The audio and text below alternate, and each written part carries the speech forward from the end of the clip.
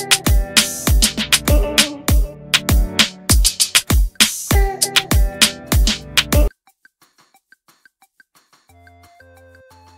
รรี่อธิบายน้องไนเหตุใดพระพุทธเจ้าสอนธรรมะคนเป็นพัน ไม่ต้องใช้ไมโครโฟนแพรรี่อธิบายน้องไนเหตุใดพระพุทธเจ้าสอนธรรมะคนเป็นพัน ไม่ต้องใช้ไมโครโฟนเผยต้องเข้าใจให้ชัด เรื่องการสอนธรรมของพระพุทธเจ้า ไม่ใช่พูดส่งเดชจากกรณี น้องในนิรมิตเทวาจุติ เด็กชายวัยแปดขวบอ้างเป็นร่างอวตารองค์เพชรพัฒนาคานาคราช สามารถเชื่อมจิตได้สามารถอย่างรู้เรื่องราวต่างๆ ทั้งในอดีตและอนาคตแค่เห็นแววตาคนก็จะรู้ได้ว่าใครมีกรรม หรือเคยเป็นนางฟ้ากลับชาติมาเกิดบ้าง โดยมีลูกศิษย์หลายพันคนต่อมาน้องไนได้ให้สัมภาษณ์ว่า พระพุทธเจ้าในสมัยที่ท่านสอนธรรมะ บางคนบอกว่า ไม่มีการเชื่อมจิตแต่ที่จริงมีการเชื่อมจิตครับ คือการสอนในสมาธิครับ ในยุคนั้นไม่มีไมโครโฟนคนมาฟังท่านตั้งร้อยพันคน ถ้าท่านไม่สอนในจิตเขาจะได้ยินยังไงคิดกันบ้างสิครับสำหรับความคืบหน้าเมื่อวันที่ วันที่ 16 ธันวาคม 66 แพรรี่ ไพรวันวรรณบุตร อดีตพระชื่อดังได้โพสต์เฟซบุ๊กอธิบายถึงกรณีนี้ว่า พระพุทธเจ้าสอนคนเป็นหนึ่งร้อยเป็นหนึ่งพันได้ยังไงประเด็นเรื่องที่ว่าพระพุทธเจ้าสอนทำอย่างไร ในกรณีที่คนฟังมีอยู่เป็นร้อยเป็นพัน ท่านได้เชื่อมจิตไปสอนในสมาธิแบบที่มีคนกล่าวอ้างหรือไม่ ดิฉันจะขอตอบให้แบบสั้นๆนะคะ เรื่องนี้ถ้าคนที่เคยศึกษาคำพีร์ทางศาสนามาบ้าง จะเข้าใจได้ไม่ยากเลยค่ะ มีหลายที่ในพระสูตรที่พระพุทธเจ้าตรัสชมภิกษุบริษัทของท่านว่ามีกิริยาอาการงดงาม มีความเคารพเป็นอย่างดีทั้งในตัวท่านและในพระธรรมที่ท่านเทศนาสั่งสอนในสมัยพุทธกาล เวลาที่ภิกษุบริษัทท่านอยู่ในธรรมสภานะคะ และท่านเห็นพระพุทธเจ้าเสด็จมา ทุกรูปจะต้องพร้อมใจกันเงียบเสียงค่ะ นี่ในพระสูตรและอัฏฐกถากล่าวตรงกันเลย เป็นเรื่องของพุทธคารวตาและธรรมคารวตา คือการแสดงความเคารพต่อพระพุทธเจ้าและพระธรรม ในพระสูตรกล่าวถึงขนาดว่าแม้แต่เสียงจามและเสียงไอยังไม่มีเลยนะคะ ดังนั้นไม่ต้องพูดถึงว่าพวกภิกษุบริษัทเหล่านั้นจะพากันสนทนาหรือพูดคุยเรื่องอื่นใด ๆ ต่อหน้าพระพุทธเจ้าพระพุทธเจ้าท่านตรัสเปรียบด้วยว่า ถ้าท่านเงียบอยู่อย่างนั้นตลอดกับภิกษุบริษัทก็จะพากันเงียบอยู่อย่างนั้น จะไม่มีภิกษุรูปใดรูปหนึ่งกล้ายกเรื่องอื่นขึ้นพูดก่อนที่พระองค์จะแสดงธรรม นี่เป็นเรื่องของมารยาทและอาจาระของภิกษุในสมัยพุทธกาลนะคะ เรื่องนี้พระเจ้าอาชาติศัตรูก็เคยพูดถึงไว้อย่างอัศจรรย์พระไทย เมื่อคราวที่หมอชีวกโกมารพัฒพาพระองค์ไปเฝ้าพระพุทธเจ้าครั้งแรกที่อัมพวัน คือที่อัมพวันเนี่ย พระพุทธเจ้าประทับอยู่กับภิกษุ 1,250 รูป แต่พอพระเจ้าอาชาติศัตรูไปถึงกลับเหมือนวัดร้าง คือมันไม่มีเสียงเจียวจ้าวหรือเสียงพูดคุยกันของภิกษุในอัมพวันนั้นเลย ความเงียบที่ว่านี้ถึงกับทำให้พระองค์สงสัยว่าตัวเองกำลังถูกลวงมาลอบโลงพระชนนะคะ อันนี้ก็เป็นเรื่องของอาจาระและวัดปฏิบัติในการอยู่อย่างสมณะในสมัยพุทธกาลค่ะ ไม่ใช่เรื่องของความวิเศษอะไรเลย ถ้าใครศึกษาคำพีร์ทางศาสนามาบ้าง จะทราบดีว่าพระพุทธเจ้าตำหนิการอยู่แบบคลุกคลีตีโมง การเผยแผ่ศาสนาในยุคแรกจึงห้ามการไปทางเดียวกันสองรูปไงคะ นอกจากพระเจ้าอาชาติศัตรู ก็ยังมีพระเจ้าปเสนที่โกศลอีกพระองค์หนึ่งนะคะ ที่อัศจรรย์พระไทยกับอากับกิริยาของภิกษุบริษัทของพระพุทธเจ้า อย่างที่เคยตรัสถึงเหตุที่ทำให้พระองค์มีความเคารพศรัทธาอย่างมาก เหลือเกินในพระพุทธเจ้าและพระธรรมว่าสมัยใด ที่พระผู้มีพระภาคเจ้าทรงแสดงธรรมแก่บริษัททั้งหลายอยู่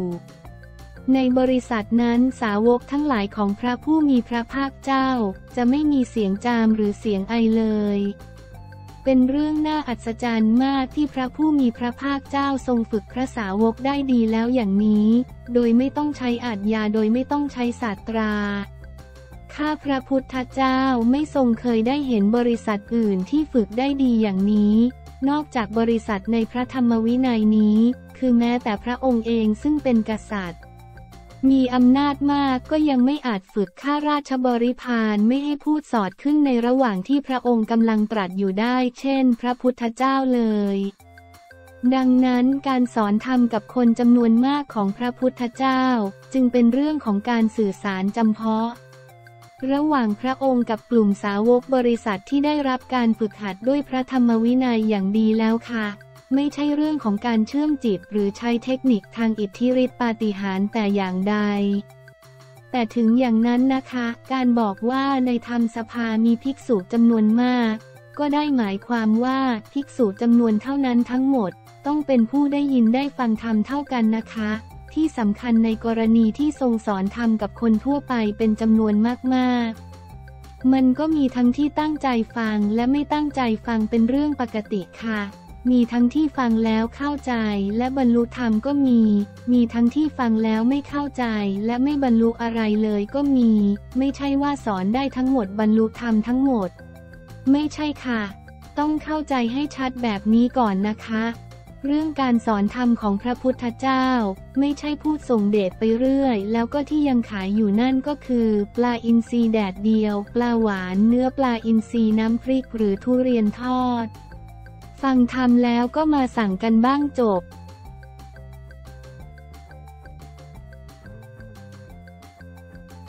เพชรจักกระจันได้ยอดมวยปี 66 แฟนมวยงง เขาเป็นใครเสือคิงชี้รางวัลหมดขลังเพชรจักกระจันชอห้าพยักได้ยอดมวยปี 66 แฟนมวยงง เขาเป็นใครเสือคิมนักมวย ดังยังไม่รู้จักชี้การผ่านมวยยังไม่ถึง รางวัลหมดความขลังแล้วกลายเป็นเรื่องที่ถูกพูดถึงและวิพากษ์วิจารณ์กันอย่างมากในวงการมวยไทย เมื่อมีรายงานว่าเพชรจักกระจันชอห้าพยักคว้ารางวัลนักกีฬามวยไทยอาชีพดีเด่น จากผลงานชก 10 ชนะ 9 แพ้หนึ่ง โดยจะได้รับรางวัลในพิธีมอบรางวัลประกาศเกียรติคุณนักกีฬาดีเด่น จัดขึ้นในวันกีฬาแก่งชาติเสาร์ที่วันที่ 16 ธันวาคม 2566 ณ ราชมังคลากีฬาสถานเพชรจักกระจันชอห้าพยักสำหรับผลงานของเพชรจักกระจันชอห้าพยักในปี 2566 ชก 10 ไฟชนะ 9 แพ้ 1-1 ชนะคะแนนขุนพลเอิร์ธอาจารย์ขวัญเมืองวันที่ 14 มกราคม 66 อ้อมน้อย 2 ชนะคะแนนนรินเดชหมูปิ้งอร่อยจุงเบยวันที่ 27 กุมภาพันธ์ 66 กองทัพอากาศ 3 แพ้นอกยก 4 เพชรแสนคมแจ็คกี้ยิมวันที่ 8 เมษายน 66 อ้อมน้อย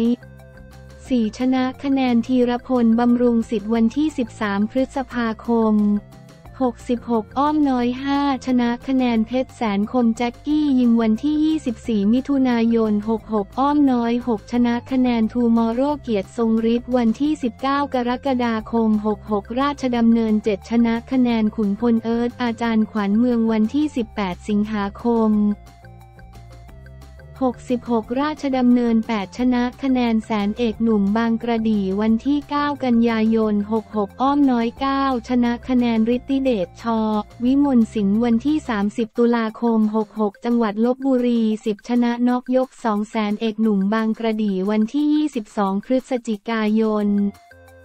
66 ราชดำเนินหลังประกาศผลยอดมวยออกมามีแฟนมวยและนักมอวจำนวนมาก ต่างออกมาตั้งคำถามถึงความเหมาะสมในการคัดเลือก โดยที่ส่วนมากยังไม่รู้จักเพชรจักกระจันชอ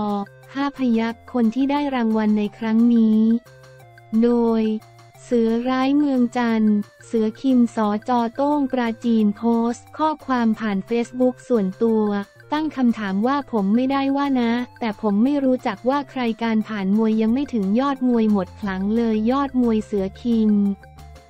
โพสต์ตั้งคำถามถึงความเหมาะสมในการให้รางวัล ทั้งนี้คำถามข้อข้องใจของเสือคิมนั้นตรงกับความรู้สึกของแฟนมวยส่วนมาก และจำนวนมากเชื่อว่าผู้ที่เหมาะสมในการได้ยอดมวยควรจะเป็นของชายล่าพอ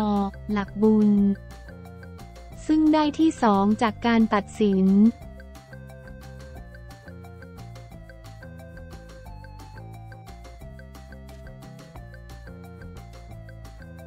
yeah.